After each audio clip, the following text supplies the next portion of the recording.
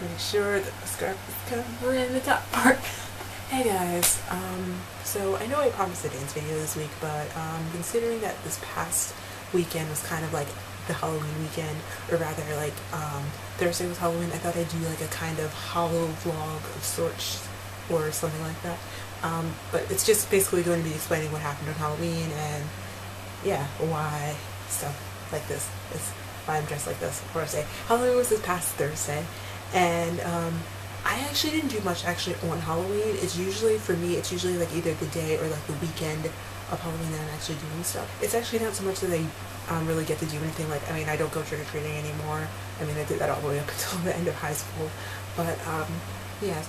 So um, actually this year was actually very very similar to last year in terms of what I did um, traditionally well now well, well actually I should say from now on traditionally um, where I go to school we actually have like a humans versus zombie game a humans versus zombies game that we run.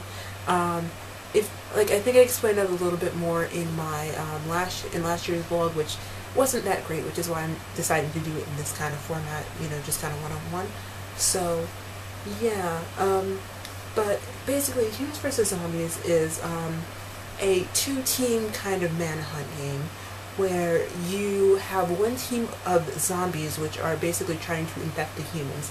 And the humans all have um, nerf equipment so well actually um, for our game we only allow nerf guns um, just because if you know you get if you get shot with a nerf bullet it's not going to hurt so much. If you get shot with a Nerf bullet, it's not going to hurt so much, such as, like, if you try to um, do anything, oh, maybe I should a about it. So much, if you try to, try to hit somebody in the face with a sword or, like, socks, which we had one year didn't go over so well, so we decided to just opt out for just, just so we just decided to opt for um, Nerf guns. So, um, yeah, I mean, that's basically what happened. Um, yeah, I mean, it was a lot of fun, but it runs overnight, basically. So I am basically in the building from 11 p.m. to 5 a.m.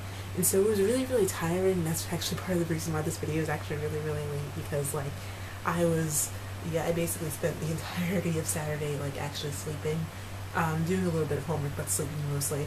Um, so, yeah, um, obviously I went as Mikasa this year. And um, I actually did want to talk about the jacket for a little bit because I actually did not make this. Um, this would be the only ever cosplay piece that I actually don't make. Like for the most part, I'm actually not going to make most of my Halloween stuff just because it's for Halloween. I don't really feel like doing that. Um, or it'll be like cosplays I've already worn. So the jacket I actually bought off of eBay. Um, it's a really really good quality jacket, but um, to most people I advise to buying it. I would keep in mind that a lot of the stuff um, that the store sells runs small, and with that I'm actually going to put the eBay seller and the information for the jacket um, in the in the description box so you guys can um, check that out if you guys want and the Shingeki no Kyojin jacket. Um, this one just happens to be the Scouting Legion. Um, I don't, I don't think that um, they sell any of the other, uh, the, uh, the other corps. Um, but yeah, if you do want a Scouting Legion jacket, um, this one's really, really good quality. All the buttons are actual, like real buttons. Like I can actually like pop this off if I wanted to. Um, try to pop them back on. Um, but these are actually legitimate pockets. Um, so yeah, I could actually like, you know, use those as pockets if I wanted to.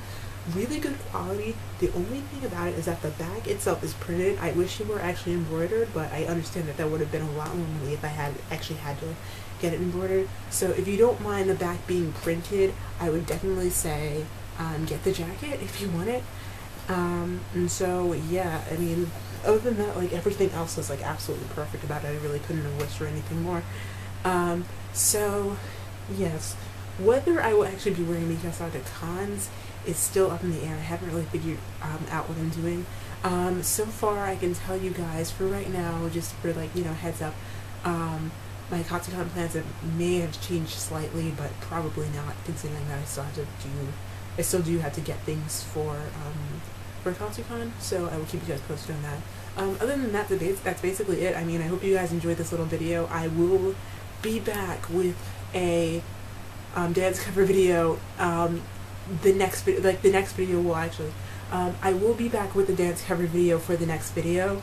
Um, I just wanted to get this out of the way because it was because you know last weekend was Halloween and I didn't really have like a Halloween themed dance for you guys to, you know, for you guys' viewing pleasure. So, um, yeah, I will be back with that. Um, you know, later in November, and I will see you guys all soon.